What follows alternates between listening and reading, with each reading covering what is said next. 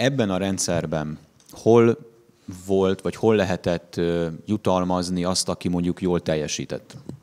Sajnos ennek a rendszernek az egyik velejárója volt az, hogy nem díjazta a kiugró teljesítményeket.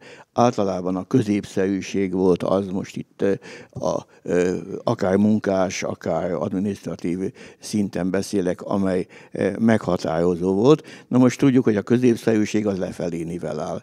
Tehát mindenképpen azt hozta magával, hogy a kiemelkedő munkát végzők még akkor sem munkát végezni képesek, még akkor sem dolgoztak jól, hogyha ezt éppen megtehették volna, mert minek?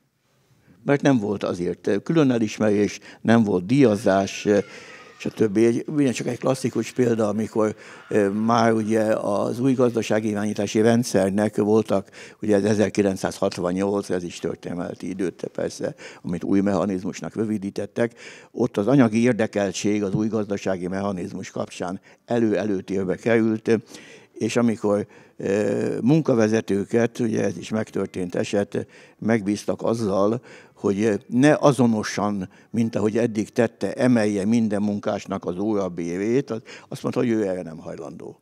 Hogy ő arra nem hajlandó, mert az is jó ember, igaz, hogy egy kicsit lusta, de hát van neki három gyereke.